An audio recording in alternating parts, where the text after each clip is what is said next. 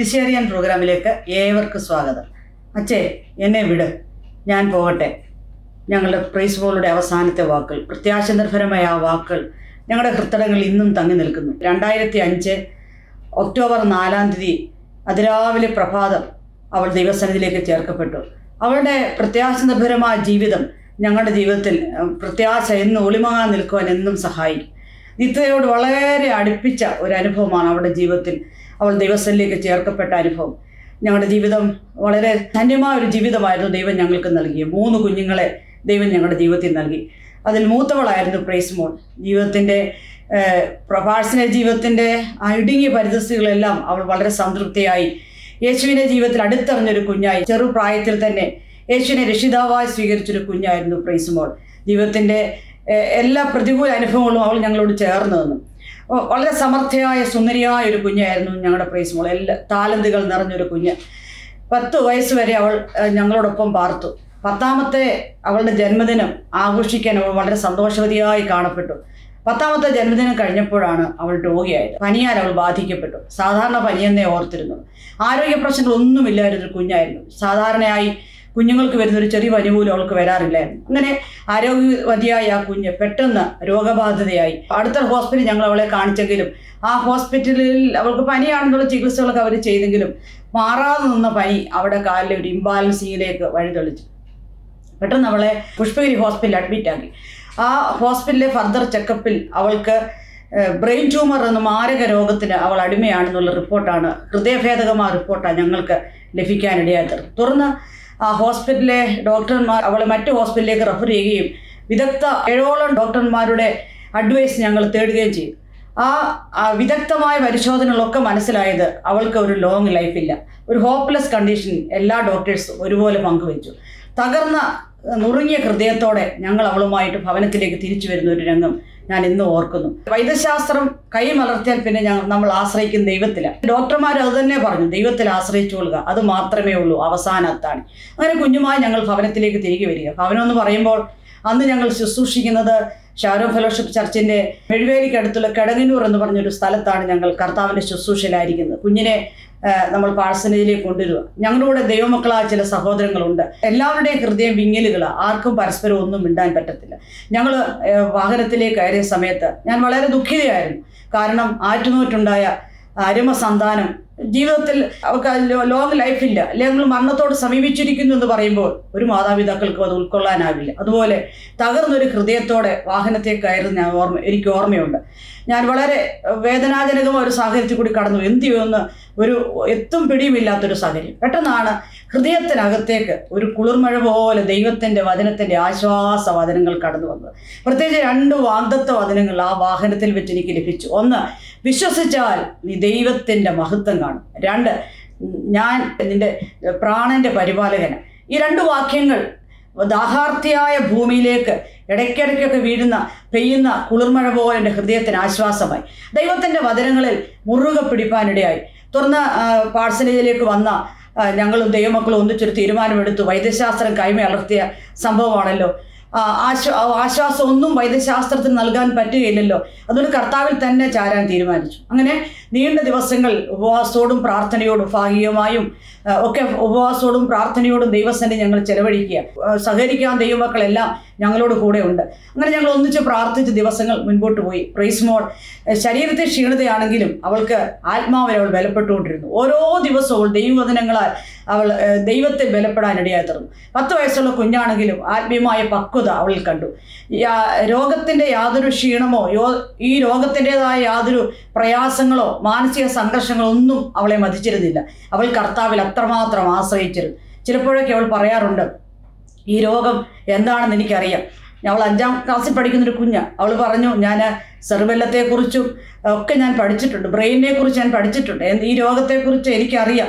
അവൾ എപ്പോഴോ ആ മെഡിക്കൽ റിപ്പോർട്ട് കണ്ടു. ആ മെഡിക്കൽ റിപ്പോർട്ട് കണ്ടിട്ട് അവൾ ദൈവത്തിൽ നന്നായിട്ട് ആശ്രയിക്കാനിടയായി ഒരു ദിവസം അവൾ പറഞ്ഞു ഓ ഈ ഒരു അപ്പച്ചൻ തന്റെ കുഞ്ഞു വരച്ചപ്പോൾ ഒരു പാട്ട് പാടിയില്ലേ? ദോഷമായിട്ടൊന്നും എന്നോട് എന്റെ താതൻ ചെയ്യുകയില്ല എന്ന് പാടിയില്ലേ? അതുപോലെ നമ്മുടെ കർത്താവ് നമ്മളെ അടിക്കുന്നൊന്നും ദോഷത്തിനല്ല. കൊച്ചു കുഞ്ഞാണെങ്കിലും വളരെ പക്വമായ അവളുടെ സംസാര ശൈലി അല്ലെങ്കിൽ അവളുടെ ആത്മീയ ആത്മീയമായ ബലം ഞങ്ങളെ ഉത്തേജിപ്പിക്കുകയും ധൈര്യപ്പെടുത്തുകയും ചെയ്തു. ഉപവാസം നീണ്ടു പ്രാർത്ഥന നീണ്ടുകൊണ്ടേ പോയി നീണ്ടുകൊണ്ടേയിരുന്നു. അവൾക്ക് ഒത്തിരി റിക്കവറി അവളുടെ ശരീരത്തിലുണ്ടായി. ദിവസങ്ങൾ നീണ്ടുപോയി. എന്നാൽ ആ സൗഖ്യം അധികനാൾ നീണ്ടു നിന്നില്ല. അൻപത്തിമൂന്നാം ദിവസം. രണ്ട് അൻപത്തഞ്ച് ദിവസത്തോളം പ്രാർത്ഥനയെ നമ്മൾ ചെലവഴിച്ച് ദൈവസനിൽ തുടർന്നുകൊണ്ടേയിരിക്കുക. അൻപത്തിമൂന്നാം ദിവസം അവൾ വീണ്ടും രോഗിയായി. അവൾക്ക് പെട്ടെന്ന് ഒരു വൊമിറ്റിംഗ് ഉണ്ടായി. ശാരീരിക ക്ഷീണം വീണ്ടും അവളെ മതിക്കാനിടയായി. ആഹാരത്തോടൊരു വെറുപ്പ്. അൻപത്തിമൂന്നാം ദിവസം അവൾ വീണ്ടും കിടക്കയിലേക്ക് കിടപ്പിലാകുന്ന പോലെ ഒരു സാഹചര്യം ഉണ്ടായി ദൈവസന്നിധി വീണ്ടും നമ്മൾ മുട്ടിപ്പായി പ്രാർത്ഥിച്ചു. ദൈവത്തിന്റെ ഒരു വാഗ്ദത്വമുണ്ട് ദൈവം നേരത്തെ നമ്മളോട് പറഞ്ഞൊരു വാഗ്ദത്വമാണ് വിശ്വസിച്ചാൽ നീ ദൈവത്തിന്റെ മഹത്വം കാണും. എന്നാൽ കുഞ്ഞ് വിഷമിക്കുക അല്ലെങ്കിൽ കുഞ്ഞ് വേദനപ്പെടാതിരിക്കാൻ ഞങ്ങളും വളരെ ശ്രമിച്ചുകൊണ്ടേയിരുന്നു. പക്ഷെ അവൾ കർത്താവിൽ ബലപ്പെട്ടുകൊണ്ടേയിരുന്നു. അൻപത്തിനാലാം ദിവസം ഒരു മരണത്തിന്റെ ഘട്ടത്തിലേക്ക് അവൾ കടന്നുപോയി. അതിരാവിലെ പ്രഭാതത്തിൽ ഞങ്ങൾ എഴുന്നേറ്റ് പ്രാർത്ഥിക്കും. ആ പ്രാർത്ഥിക്കാൻ ഒരു രാവിലെ അതിരാവിലെ എഴുന്നേറ്റപ്പോൾ ആ കുഞ്ഞ് വളരെ നിർജീവമായ ഒരു സാഹചര്യത്തിലാണ് ശരീരമെല്ലാം മരവിച്ചിരിക്കുന്ന പോലെ ശരീരമെല്ലാം തണുത്ത് വറങ്ങലിച്ചിരിക്കുന്നത് പോലെ എന്ത് ചെയ്യണമെന്ന് അറിഞ്ഞുകൂടാ. ഞങ്ങൾ ഇരുവരും കർത്താവിന്റെ ദാസനും ഞാനും ഒന്നിച്ച് പായലിരുന്ന് കുഞ്ഞിന് വേണ്ടി ദൈവത്തോട് പ്രാർത്ഥിച്ചു. ദൈവം തന്നൊരു വാഗ്ദത്തമായിരുന്നു വിശ്വസിച്ചാൽ നീ ദൈവത്തിന്റെ മഹത്വം കാണും. ആ വാഗ്ദത്തത്തിൽ ആശ്രയിച്ച് ഞങ്ങൾ ദൈവത്തോട് പ്രാർത്ഥിച്ചു. കുറച്ചേറെ നേരം പ്രാർത്ഥിച്ചതിന് ശേഷം വിശ്വാസത്തോടെ സ്തോത്രം ചെയ്ത് ഞങ്ങൾ ദൈവത്തെ മഹത്വപ്പെടുത്തി. അധികം താമസിയാതെ ആ കുഞ്ഞു കണ്ണു തുറന്നു. അപ്പോൾ ജീവങ്കിലേക്ക് അവൾ മടങ്ങി വരുന്ന പോലെ ഒരു അനുഭവം. അവിടെ മുഖത്ത് നല്ല തേജസ് പ്രതിഫലിക്കുന്നതായിട്ട് മനസ്സിലായി. അവളൊരു പാട്ട് പാടി. യേശുനായകൻ സമാധാനദായകൻ നിനക്കെന്നും ധനമേ എന്നുള്ള പാട്ട് പാടിക്കൊണ്ടാണ് ആ കുഞ്ഞ് ജീവങ്കിലേക്ക് മടങ്ങി വരുന്നത്. ഞങ്ങളെ പാഴ്സലൊന്നും ആ പാട്ട് അടുത്തിടെയൊന്നും പാടാറില്ല. എപ്പോഴോ ചർച്ചിലൊക്കെ പാടുന്നത് അവിടെ കുഞ്ഞു പ്രായത്തിൽ കേട്ട് കാണും. ആ പാട്ടാണ് അവൾ പാടുന്നത്. അതും യാതൊരു പ്രയാസങ്ങളും ഒരു വിഘ്നവും കൂടാതെ ക്ഷീണിതയായ കുഞ്ഞ് ഒരു വിഘ്നവും കൂടാതെ ആ പാട്ട് ഇങ്ങനെ പാടിക്കൊണ്ടേയിരിക്കുക. അവൾ കട്ടിലിൽ എഴുന്നേറ്റിരുന്നു. ഞങ്ങൾ ഓർത്ത് കർത്താവെ ദൈവത്തിന്റെ വാഗ്ദത്വം ദൈവം വാഗ്ദത്തിൽ വിശ്വസ്തനായ ദൈവമാണല്ലോ. കർത്താവ് പറഞ്ഞതാണ് വിശ്വസിച്ചാൽ ദൈവത്തിന്റെ മഹത്വം കാണും. ആ വാഗ്ദത്തിന്റെ പൂർത്തീകരണമാണെന്ന് ഓർത്ത് ഞങ്ങളും ഒന്നു ചേർന്ന് ദൈവത്തെ മഹത്വപ്പെടുത്താനിടയായി. അവൾക്കിടേതായിട്ട് രണ്ട് കുഞ്ഞുങ്ങൾ ഞങ്ങൾക്കുണ്ട്. അതിൽ രണ്ടാമത്തെ മകൾ ഫെബി. അവൾ കൊച്ചു ക്ലാസ്സിൽ പഠിക്കുക. സ്കൂൾ വാൻ വരും. അവളെ സ്കൂളിലേക്ക് കയറ്റിവിടാൻ വേണ്ടി ഞാൻ രാവിലെ കിച്ചണിൽ കയറിച്ചതിന്റെ കാര്യം ക്രമീകരിച്ചതിന് ശേഷം അവളെ സ്കൂളിലേക്ക് അയക്കാൻ വാഹനത്തിൽ അവളെ പിൻഗമിച്ച് വാഹനത്തിൽ കയറ്റി വിട്ടതിന് ശേഷം ഞാൻ മടങ്ങി വന്നു. മടങ്ങി വന്നപ്പോൾ വീണ്ടും കാണുന്നത് ആദ്യത്തെ ഘട്ടം പോലെ കുഞ്ഞൊരു മരണഘട്ടത്തിലേക്ക് പോകുന്ന കുഞ്ഞിന്റെ ശരീരം വിറങ്ങലിച്ചു. നിശ്ചലമായ പോലെ അവൾ സംസാരിക്കുന്നില്ല. ശരീരം തണുത്ത് വിറങ്ങലിച്ച പോലൊരവസ്ഥ. ഞങ്ങൾ ഓർത്തു ദൈവമേ കൈവിട്ടു പോയോ? ദൈവത്തോട് ഞങ്ങൾ രണ്ടുപേരും വീണ്ടും പ്രാർത്ഥിപ്പാൻ തുടങ്ങി. കർത്താവിന്റെ ദാസൻ അടുത്ത് താമസിക്കുന്ന പാഴ്സലിനടുത്ത് വിശ്വാസ ഭവനങ്ങളുണ്ട് അവരെ വിളിച്ചറിയിച്ചു. അവർ മറ്റുള്ള വിശ്വാസികളെ വിളിച്ചറിയിച്ചു. എല്ലാ ദിവസവും ചർച്ചിൽ പ്രാർത്ഥനയുണ്ട്. അതൊരു പത്ത് മണിയൊക്കെ ആകുമ്പോഴത്തേക്കാണ് ആൾക്കാർ കടന്നു വരുന്നത്. പക്ഷേ അതിരാവിലെ തന്നെ ഈ സന്ദേശം കേട്ട സഹോദരങ്ങൾ ഓടിക്കൂടി. സഹോദരങ്ങളെല്ലാം കടന്നു വന്ന് ക്രൈസ്മോളുടെ മരണവാർത്ത അറിഞ്ഞ് സഹോദരങ്ങൾ കടന്നു വന്നപ്പോൾ വീണ്ടും ആ കിടക്കയിൽ എഴുന്നേറ്റിരുന്ന് പാട്ടുപാടി ആനന്ദിക്കുന്ന കുഞ്ഞിനെ അവർ കാണുന്നത്. അപ്പോൾ അവർ അവൾ പാടുക എനിക്ക് എന്റെ യേശുവിനെ കണ്ടാൽ മതി. ഇഹത്തിലെ മായസുഖം വിട്ടാൽ മതി എന്നുള്ള പഴയ പാട്ട് അതും ആ ഞങ്ങൾ അപ്പോഴൊന്നും പാടാറില്ല. ആ പാട്ട് പാടി അവൾ ദൈവത്തെ മഹത്വപ്പെടുത്തുന്നു. കൂടെ കൂടെ അവൾ ആ പാട്ട് നിർത്താതെ പാടുക. അവിടെ മുഖത്ത് ഒരു തേജസ് പ്രതിഫലിക്കുന്ന പോലെ നമുക്ക് മനസ്സിലാവും. പല പ്രാവശ്യം പല ആവർത്തി അവൾ ഈ പാട്ടുകൾ പാടി. അന്ന് മുഴുവൻ അവൾ സന്തോഷവതിയായിരുന്നു. പല സന്ദർഭങ്ങളിൽ പല ദൈവത്തിന്റെ വചനങ്ങൾ പറഞ്ഞ് അവൾ ഞങ്ങളെ ആശ്വസിപ്പിച്ചു. കൂടെ കൂടെ ഈ ദിവസങ്ങളെല്ലാം അവൾ ദൈവവനത്തിൽ ബലപ്പെട്ടുകൊണ്ടിരുന്നു. അധികം അങ്ങനെ വേദനയോ പ്രയാസമൊന്നും അവളെ ബാധിച്ചിട്ടില്ല. എന്നാൽ ഒരു പ്രാവശ്യം അവൾക്ക് അതിവേദന അവളുടെ ശരീരത്തിലുണ്ടായി. നല്ല തല പൊട്ടിപ്പോകുന്ന പോലുള്ള വേദന. അവൾ അച്ഛയോട് പറഞ്ഞു അച്ഛേ എനിക്ക് ഭയങ്കര തലവേദന. തല പൊട്ടിപ്പോകുന്ന പോലെ എനിക്ക് ഫീൽ ചെയ്തു കർത്താവിന്റെ ദാസൻ അവളെ അരികിൽ വിളിച്ച് മാറോട് ചേർത്തിട്ട് പറഞ്ഞു മോളെ ഞാൻ നിന്റെ ഭൂമിയിലെ പിതാവ് മാത്രമാണ് നിനക്ക് സ്വർഗത്തിലൊരു പിതാവുണ്ട്. ആ പിതാവിന് മാത്രമേ നിന്റെ വേദന എല്ലാം എടുത്തു നീക്കാൻ പറ്റത്തുള്ളൂ. അവൾ പറഞ്ഞു എനിക്കറിയാം അച്ഛ അതെനിക്കറിയാം. എങ്കിലും ഇപ്പോൾ എനിക്ക് വേണ്ടി ഒന്ന് പ്രാർത്ഥിക്കൂ. ആ പ്രാർത്ഥന സ്വർഗത്തിലെ ദൈവം കേട്ടു. അവൾക്ക് വേണ്ടി പ്രാർത്ഥിച്ചു. ആ നിമിഷം തന്നെ അവളുടെ വേദന മാറി. പിന്നീട് അവൾക്ക് ഒരിക്കൽ പോലും ഈ രോഗാവസ്ഥയിൽ ഒന്നും വേദനപ്പെട്ടിട്ടേ ഇല്ല. കർത്താവ് വിശ്വസ്തൻ അവളുടെ വേദനയെല്ലാം എടുത്തു മാറ്റിയിരുന്നു. അവൾ ദൈവവനത്തിൽ വലപ്പോഴും ബലപ്പെട്ട് ആ വചനങ്ങളൊക്കെ ഈ ദിവസങ്ങളിൽ ഈ രോഗ രോഗിയായി കിടന്ന ഈ ഇട ദിവസങ്ങളെല്ലാം ഞങ്ങളെ ഓർപ്പിക്കുമായിരുന്നു പ്രത്യേകിച്ച് മരണത്തോട് അടുത്ത് വന്ന സന്ദർഭങ്ങളിൽ ചില വാക്യങ്ങൾ ഇന്നും എന്റെ ഹൃദയത്തിനകത്ത് ഒളിമങ്ങാതെ നിൽക്കുന്നുണ്ട്. ഒരു പല വാക്യങ്ങൾ ഒരു വാക്യം ഒരിക്കലും മറക്കാത്ത വാക്യങ്ങൾ ചിലത് അവൾ പറഞ്ഞു റോമാലേഖനം എട്ടിന്റെ ഇരുപത്തെട്ട്. എന്നാൽ ദൈവത്തെ സ്നേഹിക്കുന്നവർക്ക് നിർണയപ്രകാരം വിളിക്കപ്പെട്ടവർക്ക് സകലതും നന്മയ്ക്കായി കൂടി വ്യാപരിക്കുന്നു. കാലങ്ങൾ എത്ര കടന്നുപോയി പക്ഷെ ഇന്നും അവൾ പറഞ്ഞ വാക്യങ്ങൾ ജീവിതത്തിൽ അനർത്ഥമായി വരിക ഒന്നും ദൈവമക്കൾക്ക് ഒന്നും ഒരിക്കലും അനർത്ഥമായി വ്യസനകരമായി തീരാതവണ്ണം സഹായിക്കുന്ന ഒരു ദൈവം സകലതും നന്മയ്ക്കായി കൂടി വ്യാപരിക്കുന്ന വ്യാപരിപ്പിക്കുന്ന ഒരു ദൈവം നമുക്കുണ്ട് പ്രിയരെ. പിന്നീട് അവൾ പറയുക ഒന്നിനെക്കുറിച്ച് വിചാരപ്പെടരുത്. എല്ലാത്തിനും പ്രാർത്ഥനയാലും അപേക്ഷയാലും നിങ്ങളുടെ ആവശ്യങ്ങളെ സ്തോത്രത്തോടുകൂടെ ദൈവത്തോട് അറിയിക്കുക അത്രയേ വേണ്ടത്. എന്നാൽ സകല ബുദ്ധിയെയും കവിന്ന ദൈവസമാധാനം നിങ്ങളുടെ ഹൃദയങ്ങളെയും നിലവുകളെയും ക്രിസ്തേശുകൾ കാക്കുമെന്നല്ലോ വചനം പറയുന്നത്. കൊച്ചു കുഞ്ഞ പത്ത് വയസ്സേ ഉള്ളൂ. കൊച്ചു കൊച്ചു വാക്യങ്ങൾ പറയാൻ മാത്രമാണ് നമ്മൾ പഠിപ്പിച്ചിട്ടുള്ളത്. പക്ഷേ ഗഹനമായ തിരുവേനത്തിലെ ആഴമായ വാക്യങ്ങൾ പറഞ്ഞ് അവൾ നമ്മളെ ബലപ്പെടുത്തിയ.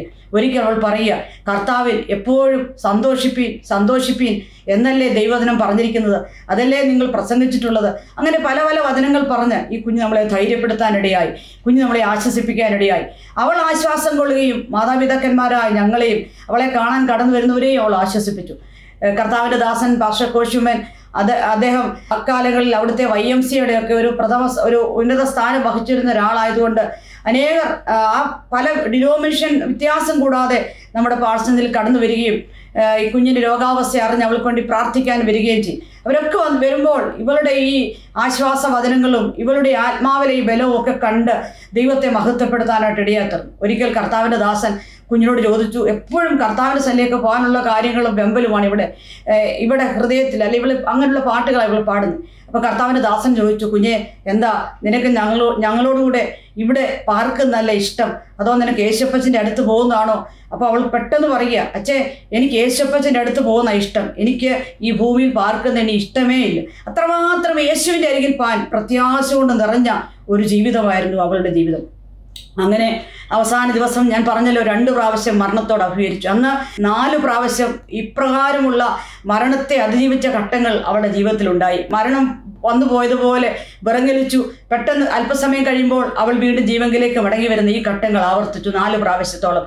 അന്നൊരു സന്ധ്യയാമം ഞങ്ങൾ എല്ലാവരും കൂടെ ദൈവസ്ഥലിൽ നിന്ന് പ്രാർത്ഥിച്ചുകൊണ്ടിരിക്കുക. ആ പ്രാർത്ഥന നീണ്ടുപോയി. അവൾ വീണ്ടും ഒരു മരണത്തിന്റെ ഘട്ടത്തിലേക്ക് അവൾ സമീപിച്ചു. ആദ്യം ഉണ്ടായതുപോലെ തന്നെ അവൾ ശബ്ദിക്കുന്നില്ല. അവൾ മരണത്തിലേക്ക് പോയതുപോലെ ശരീരമെല്ലാം തണുത്തു വിറങ്ങലിച്ചു. അവരുടെ ശരീരത്തിന് നിശ്ചലമായ അനുഭവം. അത് ഞങ്ങൾ പ്രാർത്ഥനയെ തുറന്നുകൊണ്ടേയിരുന്നു. കാരണം ദൈവം ഒരു വാഗ്ദത്തം പറഞ്ഞിരുന്നു. വിശ്വസിച്ചാൽ നീ ദൈവത്തിന്റെ മഹത്വം കാണും. ദൈവത്തിന്റെ വാഗ്ദത്തിൽ ആശ്രയിച്ച് ഞങ്ങൾ പ്രാർത്ഥിച്ചുകൊണ്ടേയിരുന്നു. ഞങ്ങളോടൊപ്പം ചർച്ചിലെ അർദ്ധരാത്രി സമയമാണ് ചർച്ചിലെ ചില സഹോദരങ്ങളുണ്ട്. പത്ത് പന്ത്രണ്ട് സഹോദരന്മാർ അവളുടെ കിടക്കയ്ക്ക് ചുറ്റുമുണ്ട്. ചേർന്ന് ഞങ്ങളും ദൈവത്തോട് പ്രാർത്ഥിച്ചുകൊണ്ടിരിക്കുക. ആ പ്രത്യേക സാഹചര്യത്തിൽ ഈ കുഞ്ഞ് കണ്ണൊന്ന് തുറന്നു. എന്നിട്ട് വളരെ ഗൗരവപൂർവം അവൾ അച്ഛയുടെ മുഖത്തേക്ക് നോക്കിയിട്ട് പറഞ്ഞു അച്ഛേ എന്നെ വിട്. ഞാൻ യേശപ്പച്ചന്റെ അടുത്തേക്ക് പോകട്ടെ.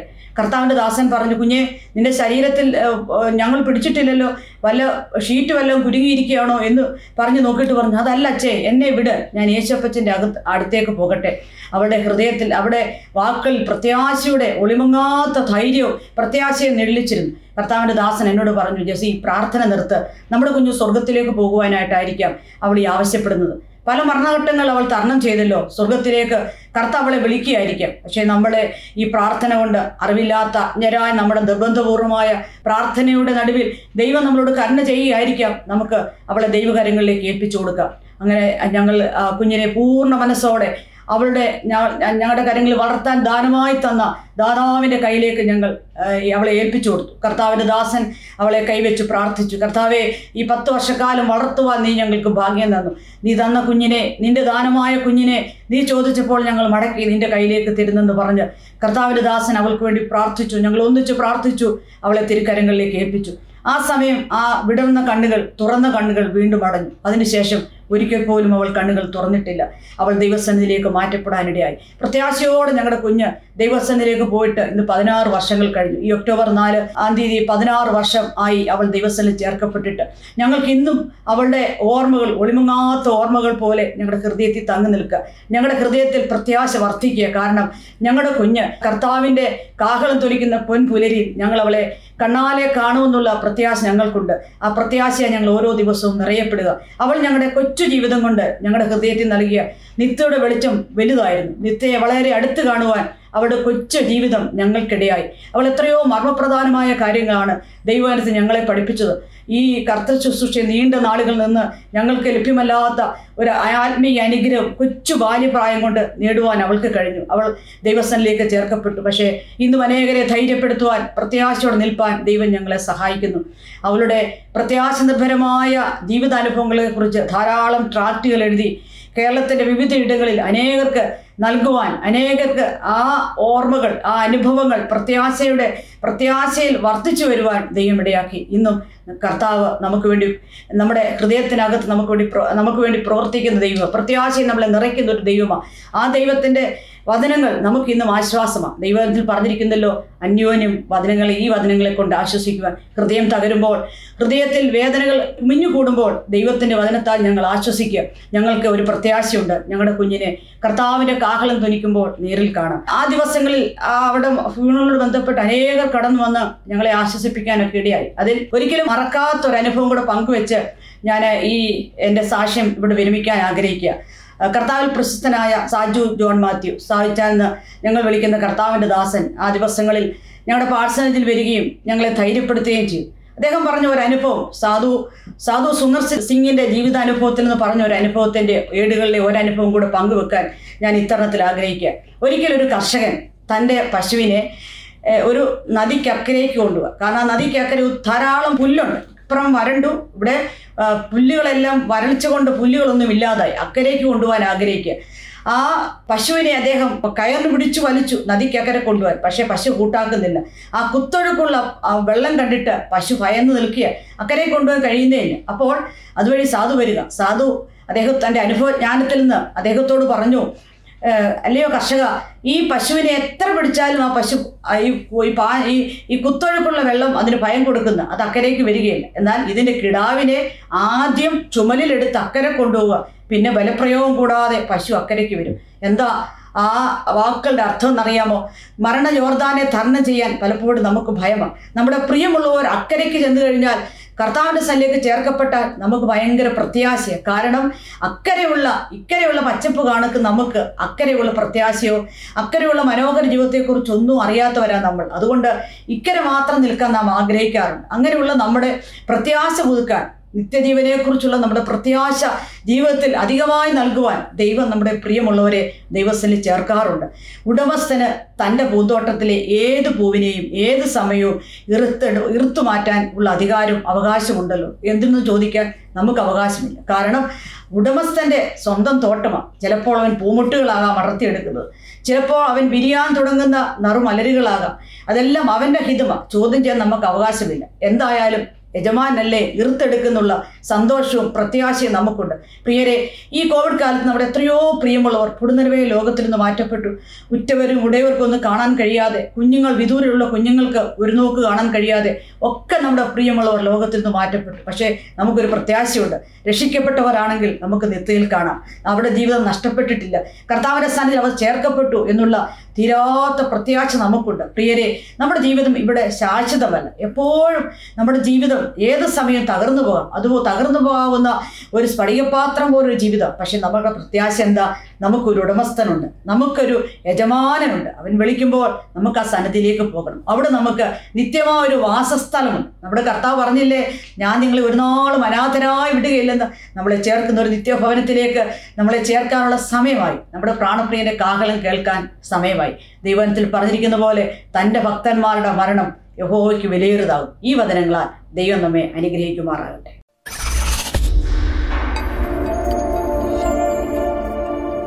ക്രൈസ്തവ ദൃശ്യമാധ്യമ രംഗത്ത് ആത്മനിറവിന്റെ വേറിട്ട ദൃശ്യാനുഭവങ്ങളുമായി പൂർണസമയ സംപ്രേഷണത്തിലേക്ക്.